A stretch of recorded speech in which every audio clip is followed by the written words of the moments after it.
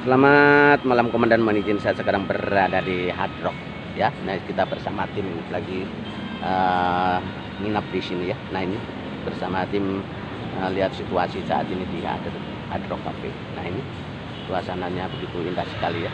Bersama tim kita habis liputan terkait uh, KTT 20 ya bersama tim. Nah ini suasana di Hard Rock. Nah ini. Nah ini ini kolam renangnya oke. Nah, mantap bisa nah inilah suasananya di uh, malam hari ini ya kita bersama tim nah, sambil menikmati suasana di Madrok oke lihat ini suasana. Oke.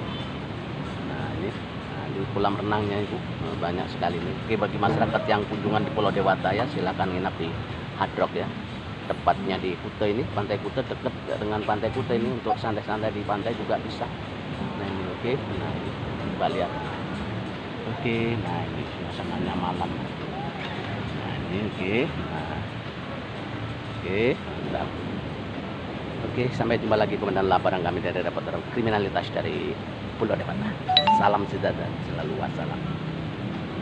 Oke mantap. Dari liburan di Pulau Dewata mantap